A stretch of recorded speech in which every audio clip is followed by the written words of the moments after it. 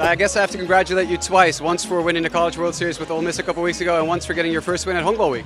Yeah, just uh, it's good to be here, you know, and it's finally uh, good to get a win. We, we've been here for a few days. We had a day off, and so to, to get in the win column, I, you know, not only the win column for the tournament, but I think mentally for us, it's a, it's going to be a big deal. You were smack dab in the middle of this uh, this huge outburst of runs. Uh, you hit a Little League Grand Slam. I call it the Little League Grand Slam. Uh, what happened? You know, got a good pitch to hit. Um, and yeah, it was a got on second base, Little League Grand Slam, got just enough of the baseball. Um, and you know, behind me, pitchers are doing a great job, throwing great pitches and throwing strikes, and our defense is holding holding it down. So. Yeah, really great game from everyone. Excellent pitching today. Uh, Hunter Elliott started, had everything under control, and then Joseph Gonzalez took care of business with one pitch and a bases loaded jam. Uh, how important is your pitching staff for your team today?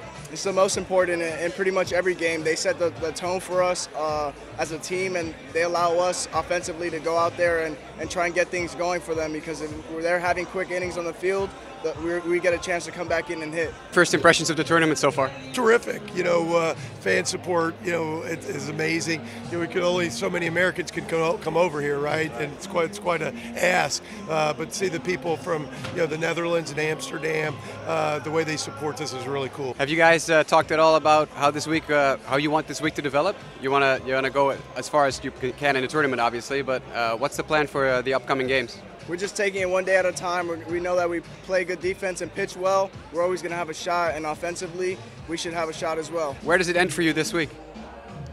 Um, you know, at, at the end of the day, it never really ends. You just do the best you can um, and have fun and you don't want it to end when you have fun. The old phrase is hitting's contagious, and we needed somebody to break the ice, and uh, you know uh, Kyle Teel obviously did that today with the big two uh, two out hit uh, that kind of breaks the game open. But uh, we'll see tomorrow. Hopefully those bats will stay hot. Thank you so much. Have a great day. Thank you.